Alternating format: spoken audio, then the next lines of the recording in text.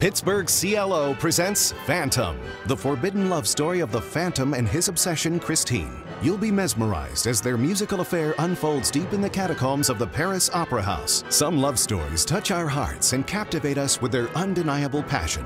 But there is only one love story that haunts us quite like this Kopit and Yeston's Phantom. 12 performances only, June 21st through the 30th at the Benedum Center. Call 412 456 6666 or visit pittsburghclo.org.